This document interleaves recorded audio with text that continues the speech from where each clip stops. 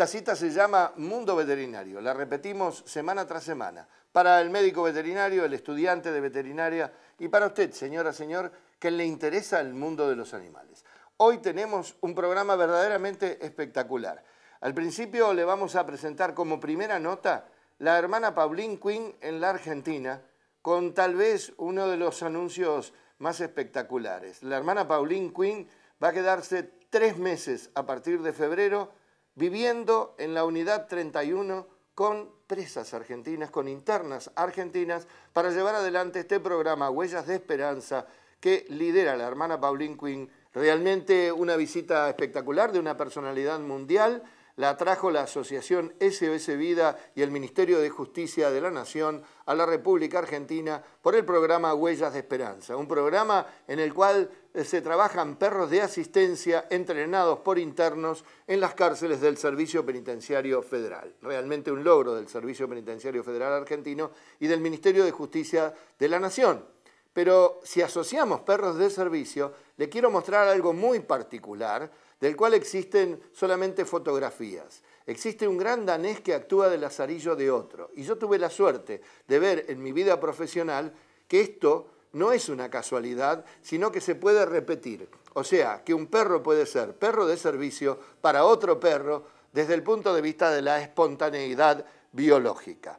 También le hicimos la pregunta a John August sobre lo que significa enfermedades autoinmunes, enfermedades muy importantes como puede ser la gingivitis del gato. Usted dirá, la gingivitis del gato es una rareza. Si tiene gato, sabe a qué me estoy refiriendo, donde un gato puede llegar a perder toda la dentadura y esto no significar la muerte de ese animal, sino eh, eh, hablar de los aspectos de por qué razón esta enfermedad afecta a algunos animales, nos lo dice uno de los especialistas más importantes del mundo en medicina felina, que es el doctor John Ogos, que cuando estuvo en la Argentina, por supuesto, estuvo con las cámaras de Mundo Veterinario. Vamos a hablar también del microchip y esta cosa que a lo mejor anda pululando por internet, que no es palabra santa bajo ningún punto de vista, nos lo dicen los mejores especialistas del mundo. ¿Cuál es la verdad sobre el microchip?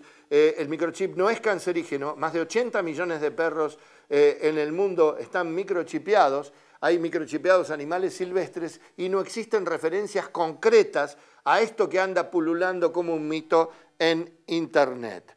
También la castración temprana, ¿quién nos lo dice? Guillermo Couto. Guillermo Couto nos cuenta las ventajas de la castración temprana y eh, también Caris Núñez de Brasil nos habla de la eutanasia como método de control poblacional, que es una aberración no solo desde el punto de vista ético, sino desde el punto de vista conceptual. No tiene sustento técnico, no tiene ninguna posibilidad de éxito y parece mentira, todavía la siguen sosteniendo algunos que se llenan la boca hablando del bienestar animal. Y como siempre, también nuestro segmento de Acuario. Y entonces no esperemos más. Vamos a ver ya la hermana Pauline Quinn en Argentina en su segunda parte.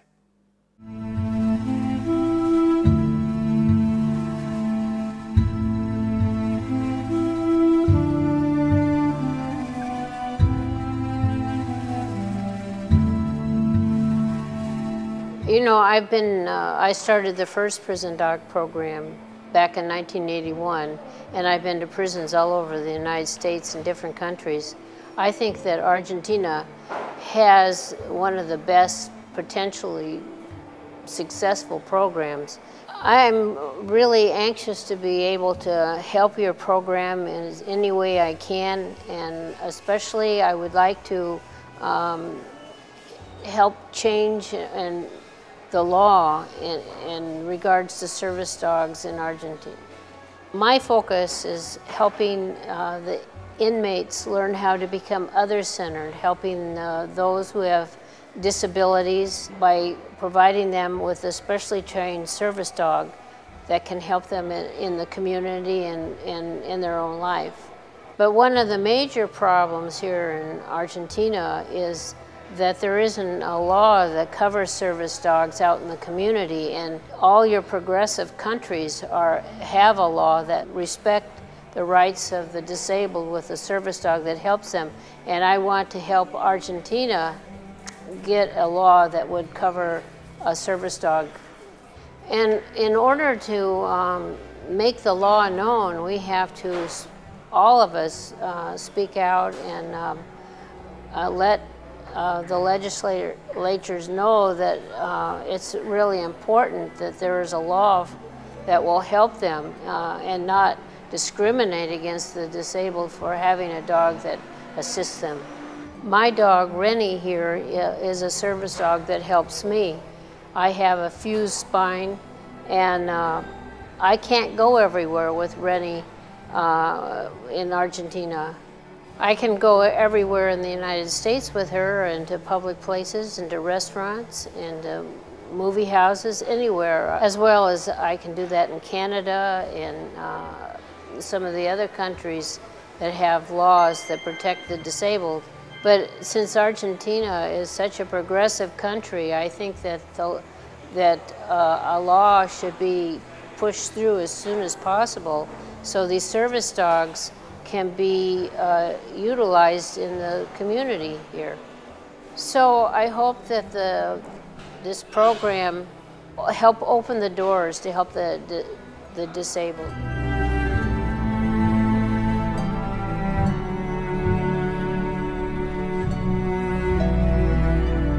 Well, when I came to Argentina, uh, which I was uh, invited here um, by the penitentiary service, uh, I went through uh, customs, but I, I, had to take Rennie to um, the veterinarian.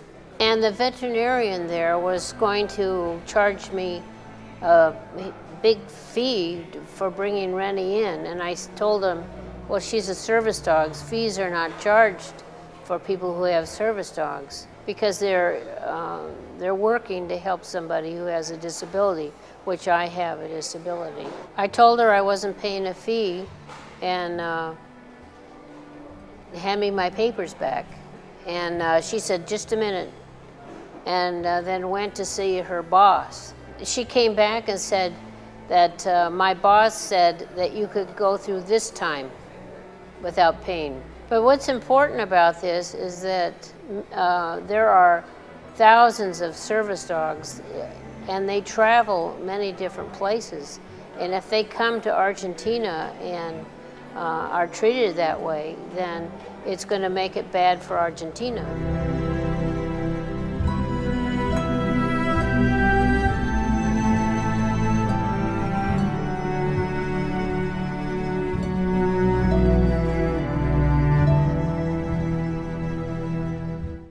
Nuevo Whiskas Pouch. Tiernos trocitos cocidos al vapor con una deliciosa salsa irresistibles para el paladar de tu gato.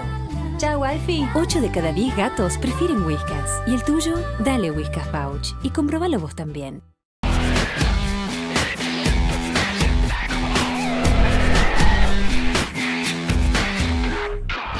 Una historia de amor, la historia de la hermana Pauline Quinn, una historia de ganar, ganar, ganar, la historia del programa Huellas de Esperanza, ganan los perros, ganan los discapacitados, ganan los internos, gana el Servicio Penitenciario Federal, el, gana la sociedad argentina y ojalá ganemos algún día una ley de perros de asistencia. Ojalá no tengamos problemas como los que hemos tenido siempre, cada vez que un perro de asistencia, no estoy hablando de una mascota solamente, de asistencia quiere ingresar a un lugar público, muchos, inclusive oficiales, eh, desconocen la existencia de esta categoría de perros, que no son otra cosa que una herramienta para mejorar la calidad de vida de un discapacitado. A la hora de la discapacidad, la historia de Lily Madison, dos eh, gran danesas, una de ellas se quedó ciega producto de un accidente y la otra empezó a hacerle de lazarillo donde la perra ciega apoya su cabeza sobre la otra y la otra va a paso muy eh, cansino tratando de guiarla. Le cuento que esta experiencia tuve la suerte de vivirla personalmente, no con estos dos animales, sino con una coli y una mestiza en un eh, lugar de Moreno. Alguien me escribió en aquel entonces una carta contándome la historia, me fui personalmente y cuando salían al jardín, lugar donde se podía perder la perra ciega, era guiada por otra perra coli con el mismo esquema de Lily Madison, apoyando la cabeza en la otra, la iba guiando por los lugares para poder de alguna manera olfatear juntas y pasear juntas. Los perros de asistencia también existen en el mundo de los perros para los perros discapacitados. Ojalá entendamos los seres humanos que los perros de asistencia son herramientas que tienen que tener las puertas abiertas por una legislación que así lo determine. Del mundo de los perros de servicio nos vamos al mundo de los gatos. Los gatos pueden tener enfermedades autoinmunes. ¿Qué es una enfermedad autoinmune?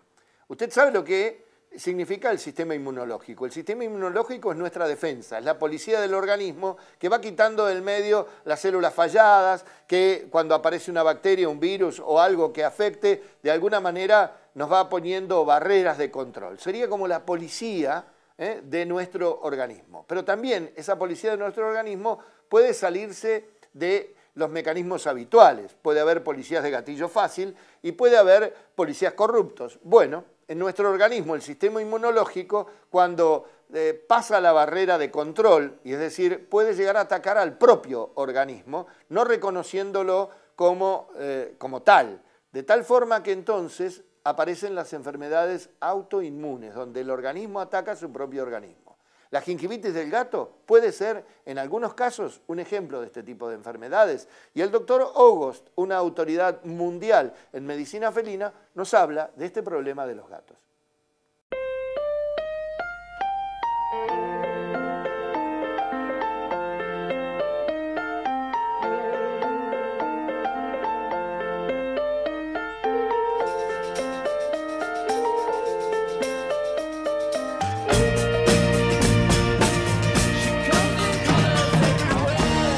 I think about cats as having two major forms of gingivitis, one of which causes periodontal disease and is associated with a true bacterial infection, and the other is associated with an exaggerated inflammation in the gums.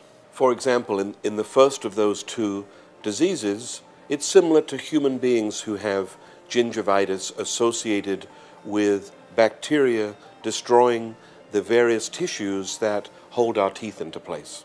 In cats, we recommend regular dental hygiene and teeth cleaning by the owners at home, and ideally, the cats come to see us once a year to have a good dental cleaning under anesthesia. I think uh, using chlorhexidine, for example, in the drinking water of the cat can be very helpful uh, to decrease bacterial infection. We have uh, solutions that are available to be added to the drinking water, as long as it doesn't uh, stop the cat from drinking its water normally because of any uh, taste preferences. I think it is very difficult to brush cats' teeth on a regular basis. So using, for example, a toothpaste on your finger that is flavored, we have one in the United States that is flavored with chicken, uh, can be very helpful in, uh, in decreasing the deposition of bacteria on the teeth. There is a second form of gingivitis in cats that is very severe that can often affect younger cats. We tend to see intense inflammation and swelling of the gums around each tooth, along each aspect of the mouth, and very often in the folds at the back of the mouth. We believe that in these cats, their immune system is reacting in a very exaggerated fashion to some protein that is present within their mouth. And the two theories that we have at the present time, most commonly, the cats are reacting to proteins from bacteria in the plaque that is being deposited on their teeth. And secondly, in some cats, to the shedding of feline calicivirus from the back of their mouths. In my experience, the prognosis for cats who are shedding calicivirus and are responding in an exaggerated manner to that virus is not as good uh, as cats who are reacting adversely to bacteria in their mouths. So in our clinic, one of the first tests that we do on these cats, in addition to testing them for leukemia virus and FIV, is to do swabs in their mouths for feline calicivirus because those cats may not respond well to the extraction of teeth. If they do not have calicivirus in their mouths, we recommend a very good dental cleaning the extraction of any diseased teeth that are in the mouth, identified by x rays. And then we start the cats on a relatively short course of corticosteroid treatment, along with antibiotics and good home care, chlorhexidine or other ingredients that will help to decrease the deposition of plaque. In my experience, the long-term use of corticosteroids in many of these cats can cause more harm than good. So if our initial treatment over the first two to three months is not working satisfactorily, then we start to think about extracting teeth. But I do tell owners whose cats test positive for calicivirus that the success rate for extracting those cats' teeth may not be as good as if they were negative for the virus.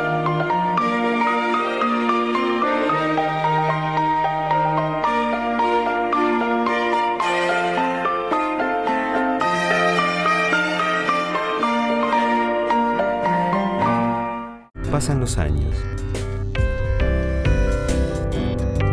Cambian nuestros pasatiempos. Que nuestro mejor amigo nunca cambie. Geriox, primer medicamento geriátrico para perros y gatos.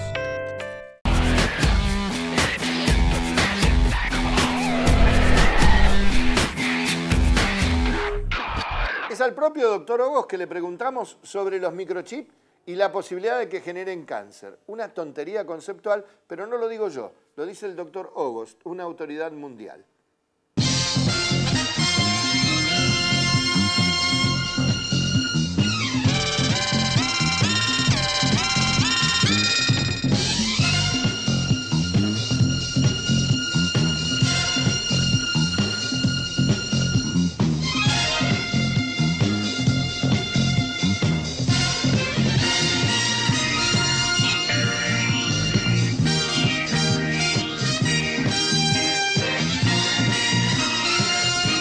I think there are one or two lit reports in the literature uh, over many years that the sight of a microchip might have induced inflammation and possible cancer. But when we compare that to the millions of microchips that have been placed that have saved cats, then it is a very, very, very small risk. And I, I am very comfortable in placing microchips in cats because the benefits outweigh the disadvantages by many times.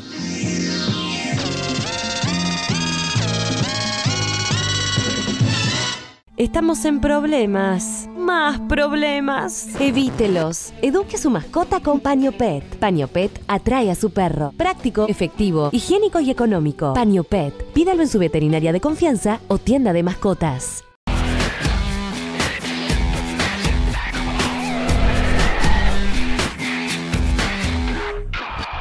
Castración temprana, castración de macho y hembra, castración abarcativa en cuanto a lo que signifique todo el país, como le dije, de macho y de hembra, no solamente de hembra, y la castración temprana tiene además de la ventaja de evitar la procreación, en la hembra y en el macho evitar la posibilidad en la hembra de tumores mamarios y en el macho de tumores prostáticos. ¿Lo digo yo? No, lo dice quizá uno de los mejores oncólogos del mundo, el doctor Guillermo Couto.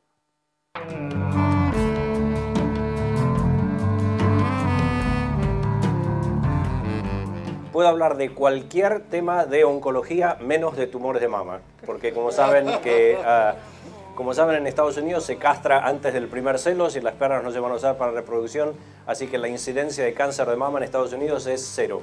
Primero no se olviden que los perros y los gatos tienen cáncer tanto como lo- los humanos. Fácil de diagnosticar, su veterinario puede hacer una biopsia o una aspiración por aguja fina. Es muy tratable en muchos de los casos, no cuesta tanto dinero como se creen y muy frecuentemente tiene buenos resultados. Muy importante recordar que si castran a la perra antes del primer celo, nunca va a tener cáncer de mama. Es el único cáncer que pueden prevenir castrando a la perra a, a una edad temprana.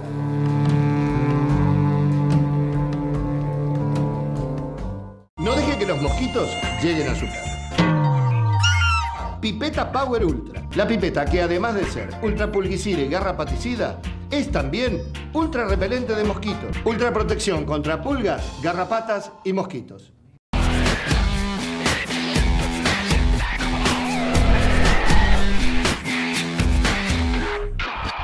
Hay muchos que se llenan la boca hablando de bienestar animal, de amor a los animales, de amor a la salud pública y preconizan la posibilidad de utilizar la eutanasia como método de control poblacional. Los que saben no dicen lo mismo y los que sentimos y sabemos tampoco decimos lo mismo. No a la eutanasia como método de control poblacional, los perros y los gatos son seres sintientes y sensibles, no son cosas de las cuales podamos disponer la vida y la muerte, que además es ineficaz y ineficiente en este caso. La doctora Núñez de Brasil nos dijo lo siguiente al respecto.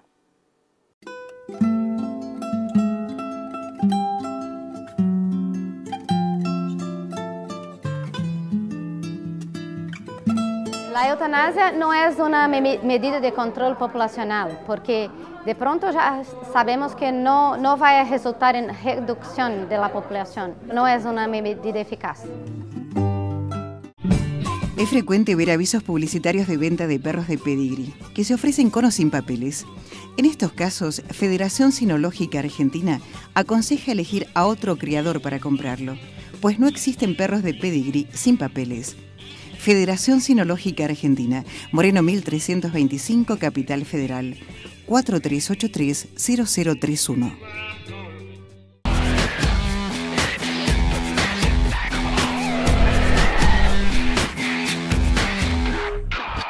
Y ya nos vamos a nuestro segmento de novedades bibliográficas. De la mano de Editorial Intermédica, una editorial argentina para el mundo hispanoparlante, luso-parlante y anglo-parlante y para el médico veterinario moderno, descolgamos de nuestro estante de la librería técnica Patología prostática canina de Antonio Prats Esteve, donde el enfoque clínico de la próstata canina pasa a ser importantísimo y que se puede prevenir. Este libro digamos, si todos los perros del mundo, machos, estuvieran, o una porción importante castrada, este libro estaría dirigido nada más que una minoría. Pero lamentablemente no es así. La mayoría de los perros, después de los 6, 7 años de edad, los machos, tienen una patología prostática canina que comienza con un agrandamiento y puede terminar con abscesos, quistes, tumores prostáticos que comprometen la vida del animal. Por eso, Patología Prostática Canina de Antonio Prats Esteve se transforma en un libro necesario para la biblioteca del médico veterinario moderno dedicado a la clínica de animales pequeños y puede ser a lo mejor un excelente regalo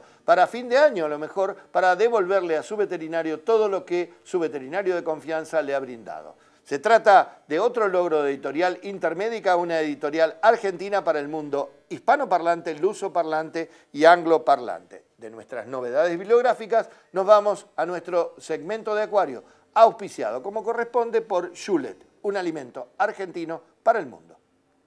Nadie sabe si los peces piensan. Si pensaran y pudieran hablar, elegirían Schulet, el de las clásicas escamitas. Una fórmula para cada necesidad, para que tus peces luzcan saludables y coloridos. Schulet, el alimento para peces caso de, un pez en especial, que es el, beta, los machos son eh, sumamente territoriales y en el momento en que están este, preparándose para la reproducción van a pelearse con todos los otros este, peces machos que haya en la pecera para defender su territorio. Excepto que yo tenga un lugar muy muy grande, no conviene poner más de uno en, una pecera porque además de, que son muy agresivos, eh, tienen dientes que permiten infligirle heridas este, severas los, otros.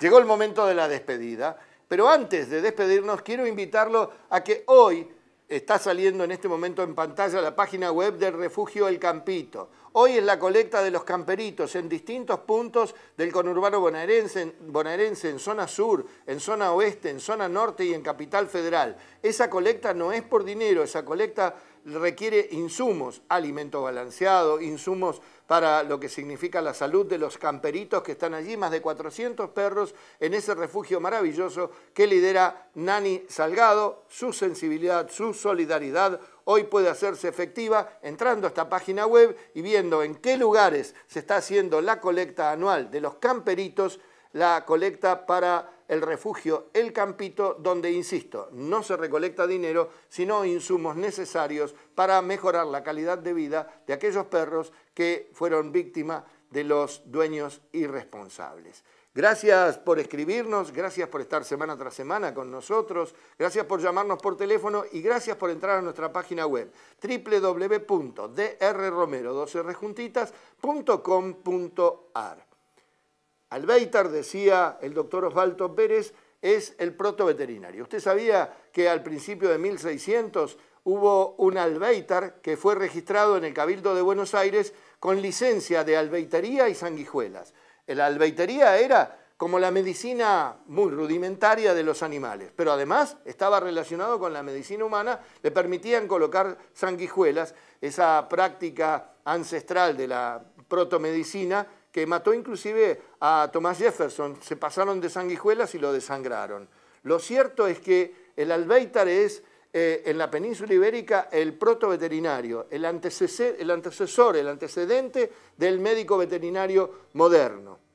Albeitar hoy en día en árabe significa médico veterinario y en vasco albeitarí, en un sincretismo cultural maravilloso, significa también médico veterinario. Como homenaje a nuestro recordado doctor Osvaldo Pérez, historiador y médico veterinario con más de 200 trabajos relacionados con la historia de la medicina veterinaria, me voy a despedir como siempre. De Albeitarí a Albeitarí, hasta la semana que viene.